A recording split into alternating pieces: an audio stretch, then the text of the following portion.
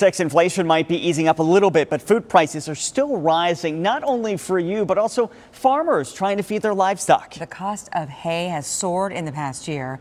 New for you this morning, our Jamie Warren joins us live from Gilbert. Uh, Jamie, owners say uh, they can't keep up with the rising costs, and now they have to be passed on to others. Nick and Kaylee, the cost of this hay impacts not only food production, so what you and I eat at the breakfast table, but it also impacts what these horses eat as well. And that has some business owners forced to make some tough decisions. I've had her for probably 15 years at this point. Rachel Jones owns Crossroads Farms, a boarding and training facility in Gilbert. And these horses, this is a passion for you yeah, and your yeah, customers. Absolutely. Are her life, but the cost to feed them has skyrocketed within the past year, forcing her to not only raise her boarding prices. My board costs can't keep up with what what with what it's costing me. But make an unimaginable choice. Just within the last month, I had to sell 6 of my own horses.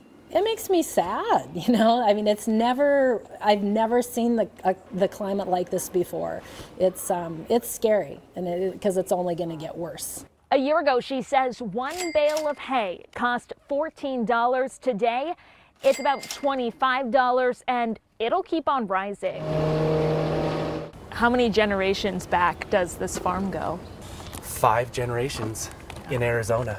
Local hay farmers like Nate at the hay barn tell me they don't have a choice because the cost to grow it keeps going up. Fertilizers have tripled in the last year. He says limits on water also means less hay is being grown. And overseas, countries like China are buying more hay from the U.S. than ever before. And those buyers are paying a lot of money. He says while it's tempting, he's choosing to remain selling local. But it won't be easy for him or those who rely on this hay to keep their passions and businesses alive. And unfortunately, the strongest buyer will win in the end. A lot of these big barns like this have already had to close their doors and disappear. It's getting harder and harder to find. And Rachel tells me that right now her business is able to stay afloat, but the future, that's unknown. And Kaylee and Nick, as you know, Gilbert is a farm town. This is why people move here. To, so to see that that could slowly start going away, it's hard for a lot of the folks that I've spoken with.